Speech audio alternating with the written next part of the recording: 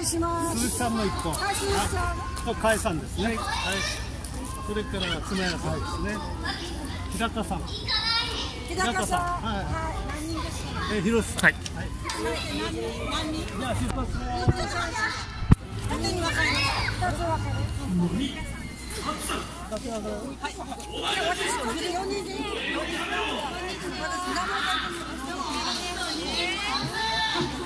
私名前じゃあこれ行きますから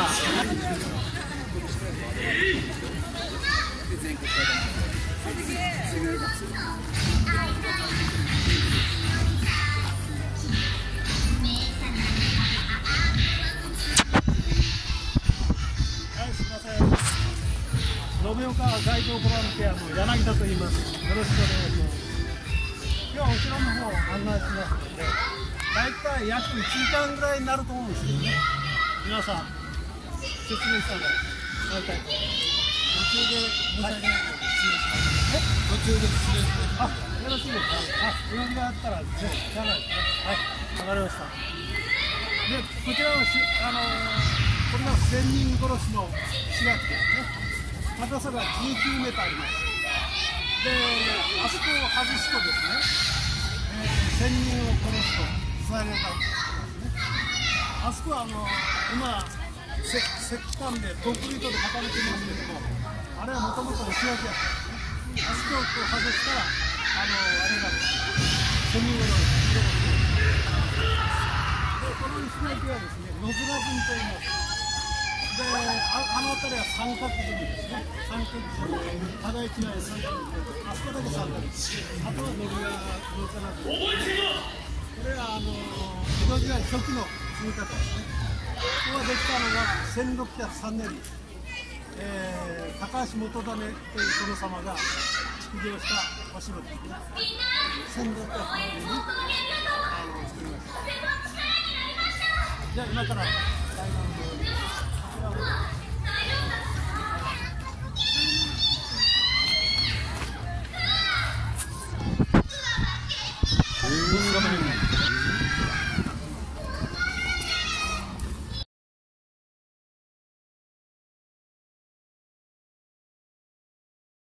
ここにですね、あのこんなような2階櫓ができてました、ありました。で、これは肥後の方、熊本の方ですね、の方の睨みを利かしていた櫓ですね。向こうは熊本の方です。で、向こうの敵が攻めてきたりするために、あの確認するためにここに櫓立ってたんですね。で、お城は大体こう敵後の情勢なんか見るために、ここにこう櫓を立ててですね、こう日の見櫓ですかね、あんな感じでこう睨みを利かしとったわけですね。で、ここで、で、これが亡くなったのは最後に亡くなりました。明治4年に廃藩の知見の時にですね、これは亡くなりました。この日の宮、ここは最後まで残ってました。こういうのがですね。あとはもう全部、こういうのは、もうそれはなくなってます。明治4年に廃藩知見の時に、これを壊しました。全部。はい。もったなもったいないですよね、今から考えるとね、置いとったらね、あの観光資源になったんですけども、一応その時はもう廃城ということでね、全部壊したみたいですね、お城のあれを。もったいないことしたんですけどね。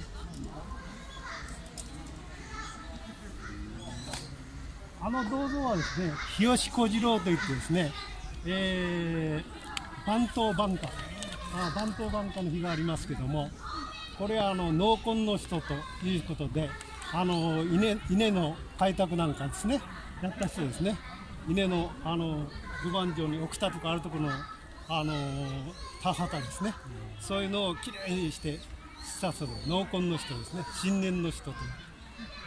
この方が大体番頭番家っていうのをやりましてね、それまではあの、えー虫がですね、田を荒らして、その食ってですね、荒れて、その2ヶ月をプラすことによって、その実を食べないようにさせたわけですね。虫が食わないようにして、虫が、あのーちょうど育つのと稲が育つのと、その虫がおるのとが一緒だった。それを2ヶ月をプラすことによって、その虫が発生するのを、あのー時のをやめることができたわけですね。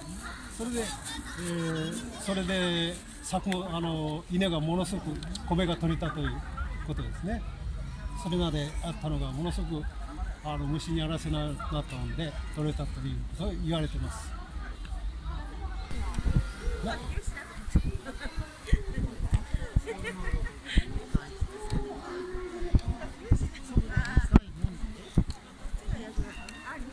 うい。うような本がありました。これですね。これ、ここでこうして。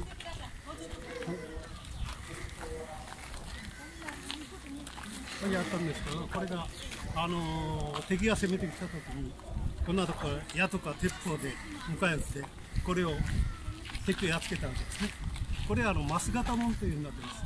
お城行ったら大概こういうような形になってるんですね。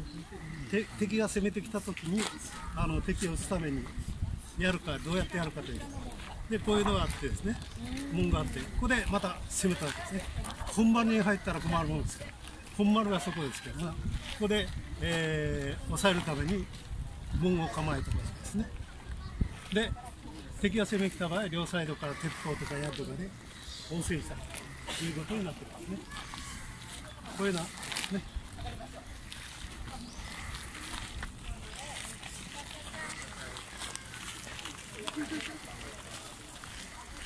最後の殿様延岡の最後の殿様。内藤。ですね。でこの方が最後のこの方はどこから来たかというとですねあの太田道館でしてはね築城した江戸城を築城したあの方の子孫ですね。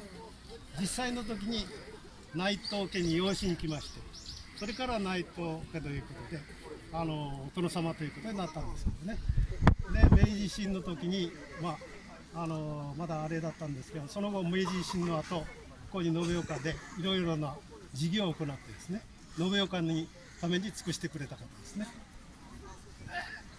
無償教育の実践それから、えー、日比良銅山の開発それから電気所のあ電気の開発ですね。それから植林造林そういうような事業を行っております。で延岡にはあ延岡に電気を灯したのはこの方ですね。最初に延岡電気所を作りまして明治明治の初期ですからね。もうなかなかねそう簡単にできないことでしたけども、えー最初この方はですね、えー明治4年に廃藩置県の時に東京に戻されたわけですね。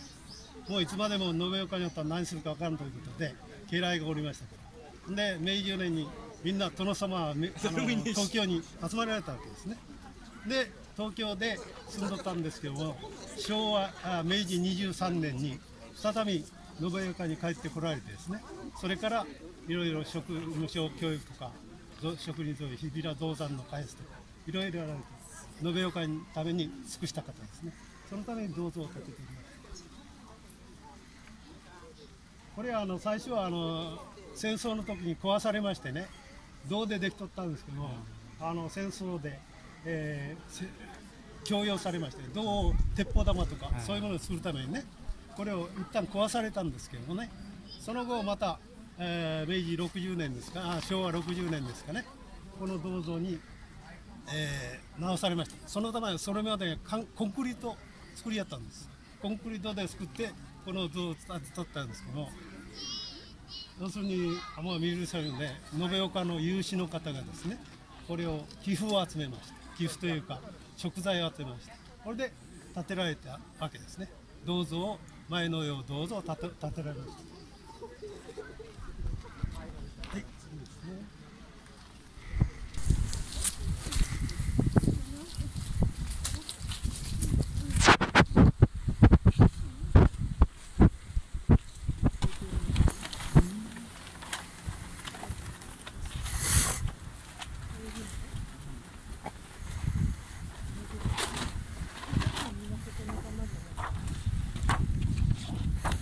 昔はこんなですね立派なあれですね、えー縦に9メーターそれから横幅が12メー11メーターで高さが14メーターあります。これはあの東の方に南を利かしたわけですね。これができたのが有馬時代なんですけども残念なことに有馬時代に天南3年にですねこれは下からの武家屋敷からですね火が起こりまして火がそれでバーッと燃え上がってきてこれが消失しちゃったんですね。昔の家はもう木でばっかりだもんですから火事が出たらもう広がるのが早くてですねあっという間に広がってくるわけですね。で武家屋敷では火の粉がバンバン上がってきましてこれを残念なことにみんな焼けてしまいました。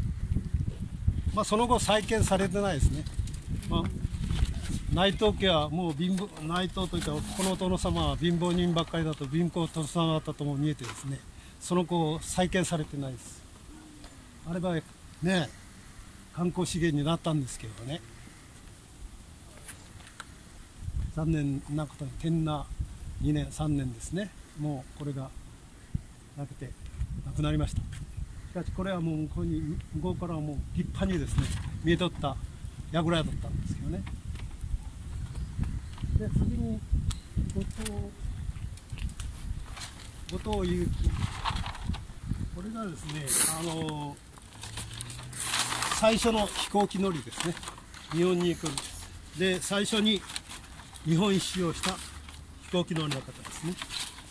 後藤祐樹と言います。これはあのそこの南町で生まれたんですけどね。ここで飛行機乗りってなりまして。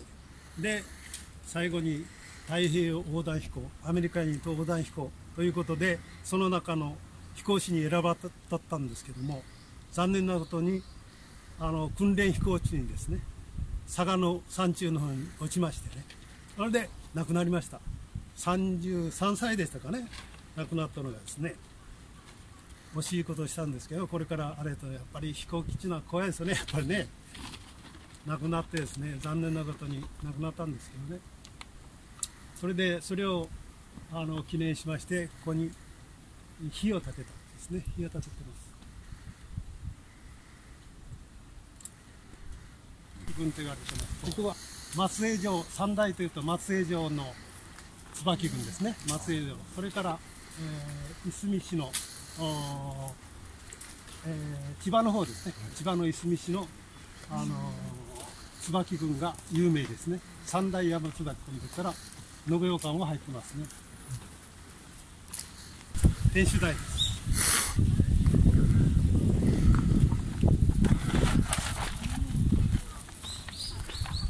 最初は稲田線という方でしたね。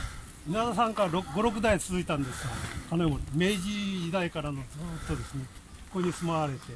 その技法をずっとやってたんですけどね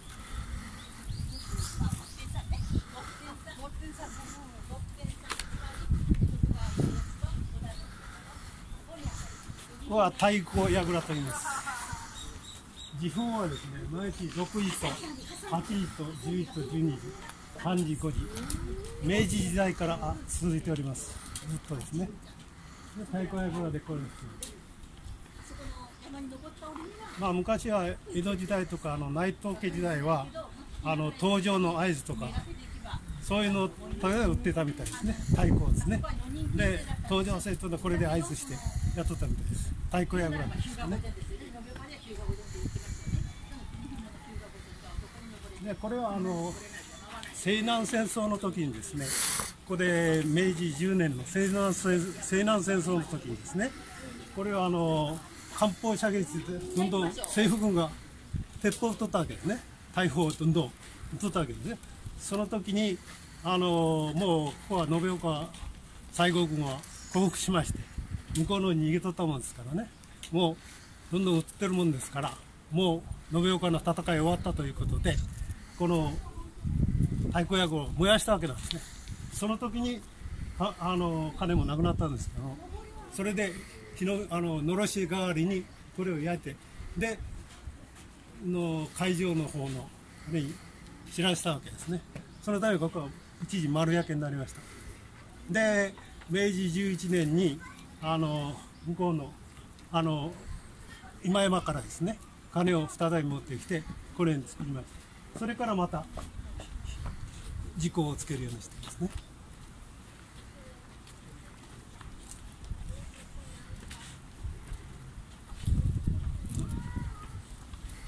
あそこがあのあれですね愛宕山ですね。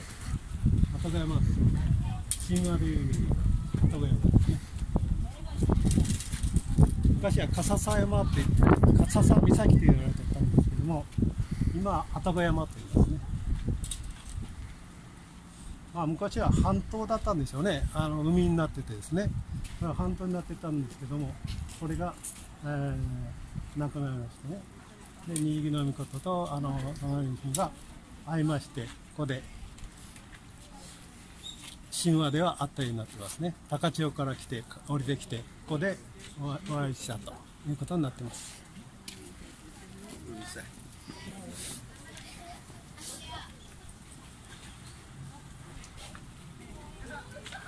これは一番上です。毎日ご苦労さん。です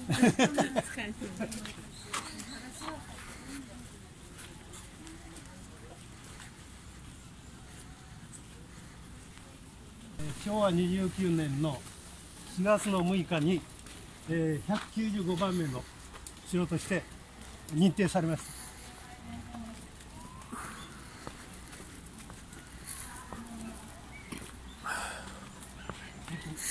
29年の4月6日ですね。29年の4月、城の日と覚えとってください。城の日ですね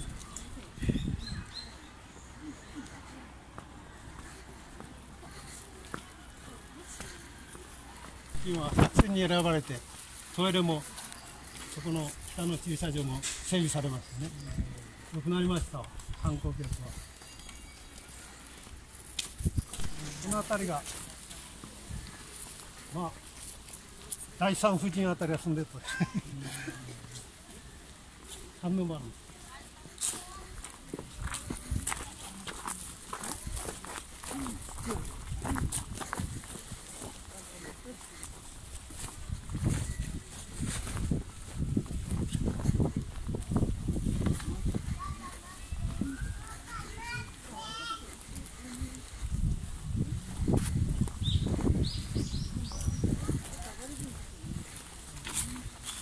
これが四五万ですね。ここが。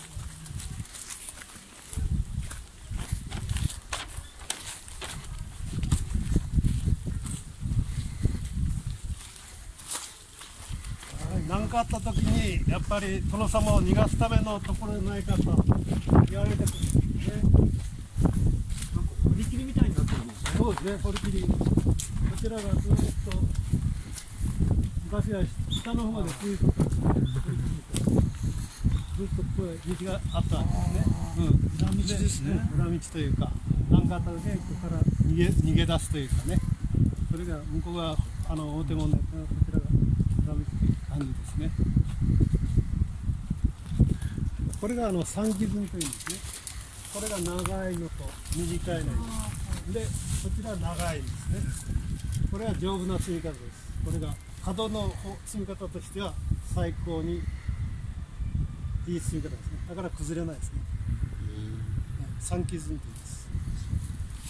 その当時もこれだけ残ってましたもんね。ああだから400年経ってもね全然壊れないですよね。三木積みだから昔の築城技術はすごかったですね誰が考えたんですかねこういう本当にいやもう本当お城見でも立派なうんもう本当に300年も前に誰がこんなの石をそのまま使ってね、でその辺りをこう掴んで掴んでですね。またそうですね。この方が延岡の最初の市長さんです。昭和8年に市政になった時に最初に市長になられた方ですね。この方はものすごい偉い方で、その後戦後23年に再び市長になってます。で、えーこの方一番立派なことは橋掛又次郎と言われてたんですねだから延岡っちゅうのは川が五ヶ瀬川と大瀬川が流れてましてね橋がないとどうしようもないところだったんですねで中田さんは橋を架けるのに一生懸命だったんですね。延岡に尽力された方です。でこの人がもう市長を辞められた時にはもう井戸と塀しか残らなかったと言えばですね。それだけ司祭を投げ打って延岡に尽くした方となるんですね。だからそのそれを記念してそういう立派な人だったもんですけど今の政治家とえらい違いですね。政治家はもう今の政治は蓄財を高いよね。一生懸命で。なあ自分の資材を投げ打ってやるっていうのはそうなんですよね。昔の政治家はこういう人が多かったですね。やっぱり資材を投げ打ってあれした。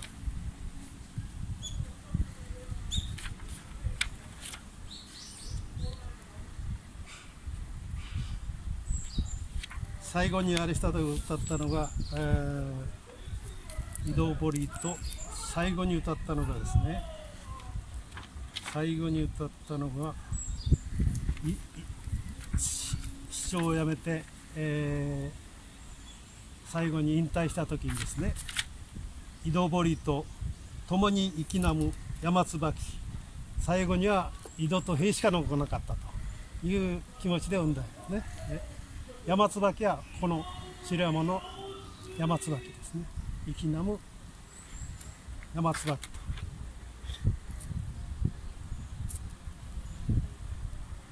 それを記念して、えー、昭和39年に建立されました。ここに建てられましたね。亡くなったのが昭和45年の1月26日心不全で77歳で亡くなられました昭和に昭和まで生きてたらですね。だから戦争の時も全部苦労された方ですね。でここに延岡も一時空襲で焼け野原になったんですね。それをたそなやしたりいろいろやられた方ですね。こういう方です。あの和歌山牧師は皆さんご存知だろうと思うんですけども、えー、和歌山牧師は明治18年の8月24日宮崎県東郷町椿谷に生まれました。尋常小学校を終えると10里ほどあと延岡市の高等小学校に入り新設された県立延岡中学校を卒業して早稲田大学英文科に進みました。延岡での8年間の青春は山子水面の自然と良き比喩に恵まれ将来変化に名をなす歌人としての素養を使われました。この歌は昭和2年4月24日大雲寺で読んだもので朝鮮から帰りにです。ね大雲寺読んだので昭和10年春全国三分の牧師歌手として建てられました。毎年春分の日に活動祭りが行われま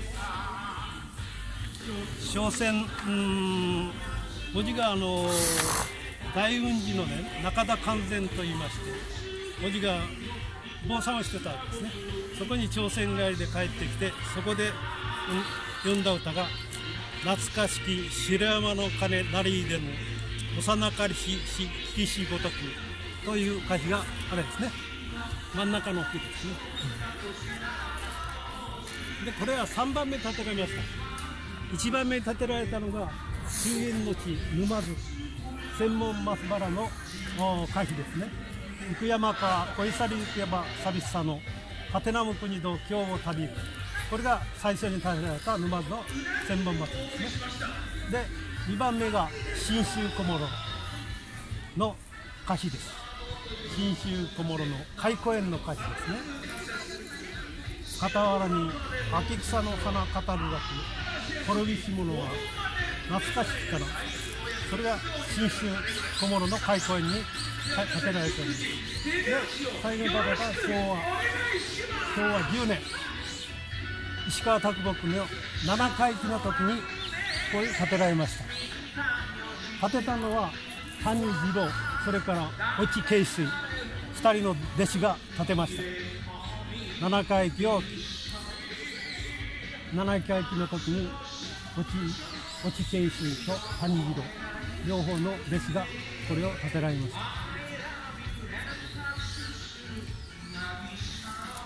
まあ、延岡で8年間過ごしたんですが一番多感な時過ごしたわけですね。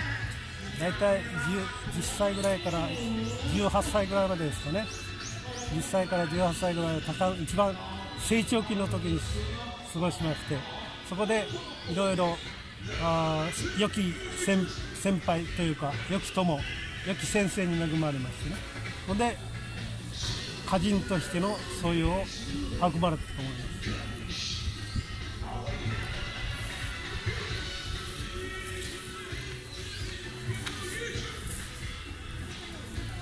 左側落ち渓水ですね。で、こ谷広、あのー明治の時に谷家って言ったらすごかったですよね。あれのあ一族ですね。谷広ですね。これが浸水しまして、牧水に浸水しまして、弟子になったわけですね。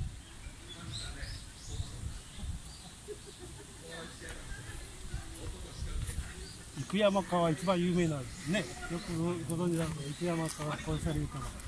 今一番有名な方なんですけども、これは沼津の専門マスパランドから愛がされたわけですね。これにかけて発掘調査されましてね、これができたのは平成5年になっております。これが石、まあ、書籍が下の方に埋められてるみたいですけどね、これが平成4年に発掘調査を行いまして、これを、まあ、今は北大手門と言いますけども、昔はあの、マス型門と言われてますね。こう、マス型になってて、攻めてきたらあれだと思うんですけど、マス型になってました。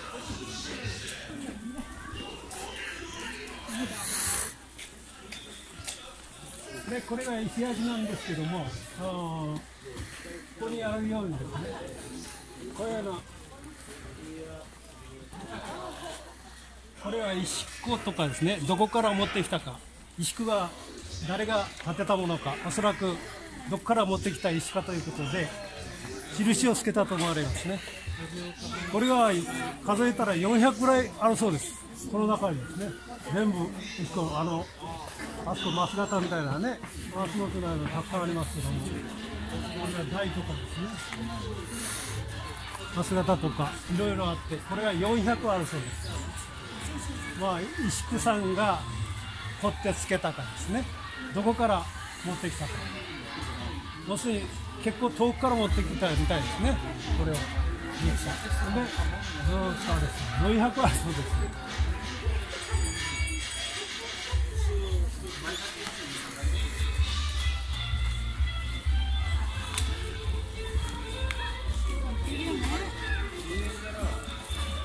はい、最後です。これが内藤家母妃および供養塔ですね。ここは旧藩主内藤家の墓所です。以前は三福寺にありましたが、五笠川の河川改修に伴い、明治40年9月にこの地に移されました。内藤家は三河の国出身で代々徳川につけられた三河以来の不代ですね。不代審判と不代と戸玉とありますけども殿様の家来で不代ですね。直属の家臣ですね。徳川家臣不代でえ年那 8, 8年四代正長が宮城平七万石の藩主と領主となり朝礼延長4年九代正木の時に日向の国延岡に天風となりました。九代正木の時にここに延岡に来られたんですね。その後御所内にはその後8代にわたって襲いましたけども御所内には藩主の母妃5期一族の母妃19期養と20期があります藩主の時は岩木平藩初代であった。4代正長6代義康8代義重と延岡に来られての藩主11代正信12代正信のもので14代正頼の妻で優れた。状況な重臣の母妃もあります母妃の形式は宝京院と7期五輪のと5期笹場と11期滝1となってこのうち宝京院とは神奈川県鎌倉市光明医の内藤家部署にも見られ江戸時代の部署貴重な城です鎌倉市に光明医とかそこにもあるみたいですね内藤家の部署ですねまあね墓はずっと中にあるんで今日もう閉まってるもんであの五流とは11代全部名前が分かっておりますその五流ですね全部名前が中に入ったらみんな覚えて殿様が正正信公正長公義康公これは皇室ですから八代の義家公それから正嗣公これが監視のあるのが一番国になっています。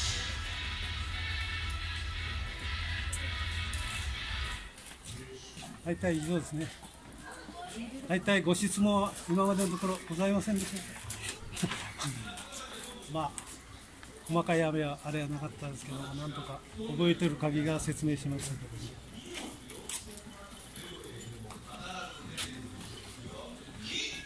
まあ、宮崎県ではやっぱり私はナンバーワンと思いますね、延岡城がですね。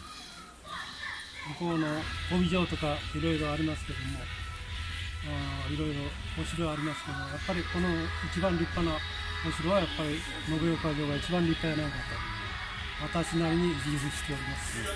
そうです。あの石田三辰巳が大好きなお城です。ね石垣は立派です。からね、うん、あれは天守閣とかそういうものはないです。けども、お城だけでもね、あの岡城行かれたことあります。ないです。か、岡城はね、本当の石垣だけです、天守閣は全然ありません、岡城だけで、それがものすごい立派ですよ。どうもありがとうございました。ありがとうございました。ありがとうございました。